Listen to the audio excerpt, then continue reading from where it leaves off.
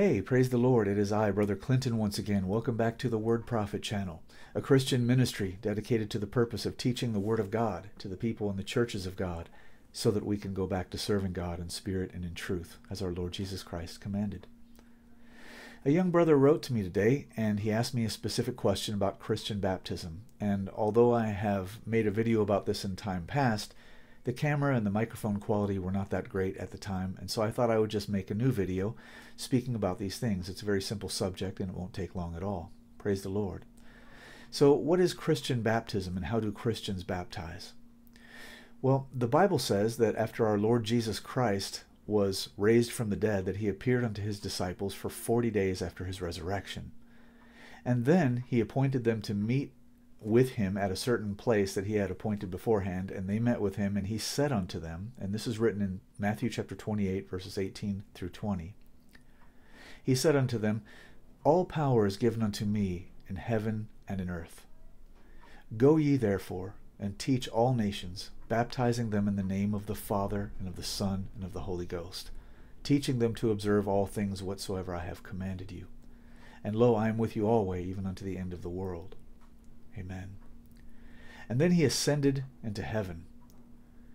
And ten days later, the New Testament began.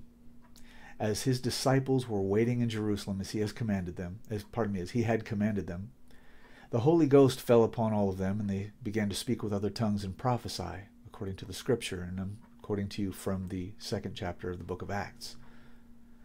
And so when the New Testament began, the apostles whom he had chosen and to whom he had given the previous commandment in Matthew chapter 28, 10 days earlier, they began to preach, Repent and be baptized, every one of you, in the name of Jesus Christ, for the remission of sins, and ye shall receive the gift of the Holy Ghost.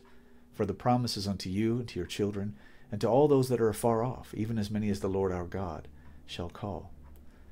That was the beginning of the New Testament.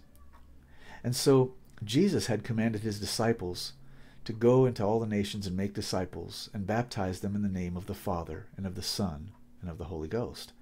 And that's what they did. They began to preach ten days later when the New Testament began Repent and be baptized, every one of you, in the name of Jesus Christ. Because the name of the Father and of the Son and of the Holy Ghost is Jesus Christ. So that's how Christians baptize, according to the commandment of our Lord Jesus Christ, which was also echoed by the commandment of his apostles, whom he had commanded.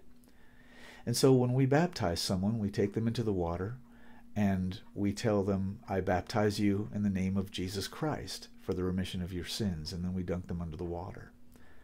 Okay, that's what the scripture says. We baptize them in the name of Jesus Christ. Now, what does a person need to believe in order to be baptized? Well, of course, a person needs to believe the gospel in order to be baptized because Jesus said, he that believeth and is baptized shall be saved, but he that believeth not shall be damned. So, what does a person have to believe in order to be baptized? Well, a person has to believe that Jesus Christ is the Son of God, and that he laid down his life for the sins of the world, and was risen from the dead incorruptible by the power of God, and that he has ascended into heaven, and that through his name we can receive remission of sins. Remission of sins is a phrase that means when your sins are washed away, or pardoned, or forgiven. And the way that we receive remission of sins is to repent and be baptized in the name of Jesus Christ. Repent means to turn from your evil ways and start doing that which is good and right. It's literally a word that means to change the direction that you're going. To repent means if you're going one way, you turn around and go the other way. That's what repent means. If you're going to do something and you repent, then that means that you change your mind and you decide not to do that thing and you do something else instead. We can see the word repent all through the scripture, and, and that's clearly what it means. It means to not do what you were going to do and do something else instead. And so that's what repent means. And the Bible says that we are to repent and be baptized in the name of Jesus Christ for the remission of sins. The blood of Jesus Christ our Lord was shed for the remission of sins. This is what Jesus himself said in Matthew chapter 26, verse 28. And it's written in many other places as well, of course. So, as a Christian, I baptize people according to the commandment of my Lord Jesus Christ, because as a Christian, I'm a disciple of Christ. And so when I preach the gospel to somebody, and they believe the gospel, the gospel being the good news of the resurrection of our Lord Jesus Christ and the fact that we can be forgiven of our sins through his name, and somebody believes that gospel, then I take them to some water, whatever water it is, could be a swimming pool, could be a lake, could be an ocean, could be a river, as long as it's enough water to bury the person under the water, because we are buried with Christ in baptism, as the scripture says. And so I take them to the water, and I will tell them, I baptize you in the name of Jesus Christ. And then I dunk them under the water. I might say, I'm, I baptize you in the name of Jesus Christ for the remission of sins. Okay, or I might not say for the remission of sins. It doesn't really matter because it's for the remission of sins, whether I say it's for the remission of sins or not. Because the Bible says that baptism in the name of Jesus Christ is for the remission of sins. So when I'm baptizing someone, I'm there for two reasons.